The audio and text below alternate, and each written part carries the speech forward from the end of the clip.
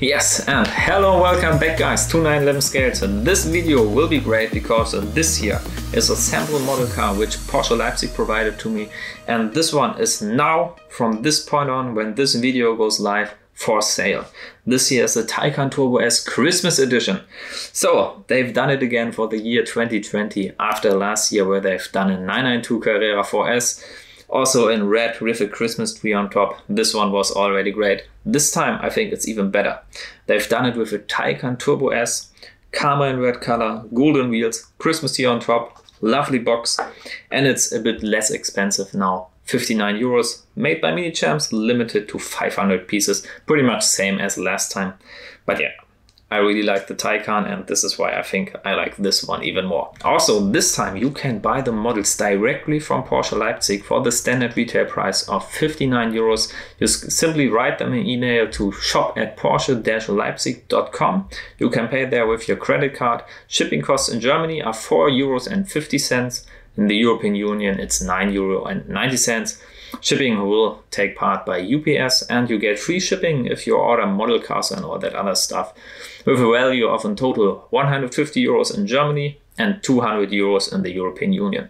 What is a bit of unfortunate, the worldwide shipping is such a big hassle for a big company as Porsche Leipzig, so they can only handle inside the European Union. But if you're coming from the outside of the European Union, make sure to write me an email to my email address info at 911scales.org and I'll try to get you the model plus a few transaction fees and shipping costs so that you can also have it at your destination around the globe. All right, yeah, the model I think is already looking good, but let's grab the camera and get up close to it and inspect it properly. All right, to start off, before I show you the model, here is the box. And I think this is a very nice box as last time. We have beneath here the Taycan Turbo S logo in the background, a big panorama, which goes all the way around, around the cardboard even here on the back something which they forgot last time but here it is. Very nice.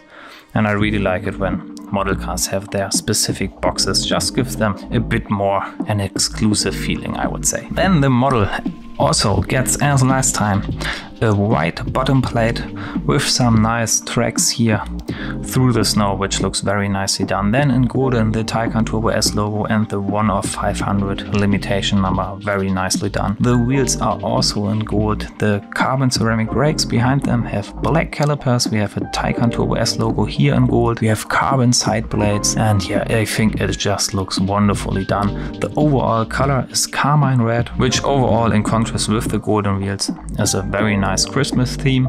We also have a little tree here on top, which this time is fixed in place as like the other Taycan Turbo versions by Minichamps. I think nicely done. We have the lights. Sure, this could be a bit more detailed, but it's only a 143 scale version. We have carbon details here on the splitter, which is nice. The Porsche crest here, the radar cruise control, everything there as you like to have it on this model. Then on the rear, the same story continues. We have some carbon details here, the two red reflectors. We have the light light strip here with the Porsche inside, which is actually nicely done by Minichamps this time. Then we have some black Taycan Turbo S writing here, which I think would be better if it was in gold, right? But this car was configured on the official Porsche configurator, so you could actually buy this car in a full scale, one-to-one scale for 200 something thousand euros without the tree, obviously. You could buy this exact car. Something which is a problem with this model on the other hand. I think on the Taycan's roof, it is not possible to install roof racks. So uh, you won't be able to transport a tree on top of a Taycan. But otherwise, the one flaw I think with this model is a panoramic roof. Minichamps really could have done it nicely. Here it is pretty much inserted as with the Macan Turbo. I think they chose the same technique here. On the Macan Turbo it's actually alright and looks perfectly. I already done a review on that. But here the Taycan obviously does not have this small panoramic roof. The panoramic roof on the Taycan is just a one piece glass roof so you wouldn't see an edge here.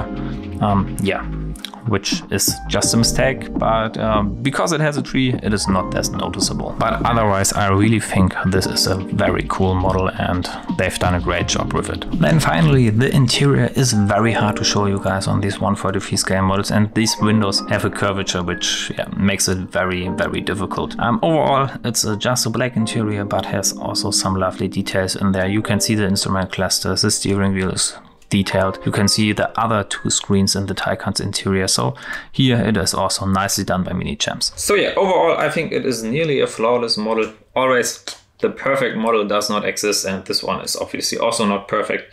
But I think it is a great thing that the price is a bit cheaper now and with that, the points for this model are 38 out of 50, which is a very high score, which is also the case because I think the Taycan is such a significant car for the Porsche company in itself. Therefore, it gets a high significant score. And if you want to see the detailed scoreboard, the link is as always down in the description below.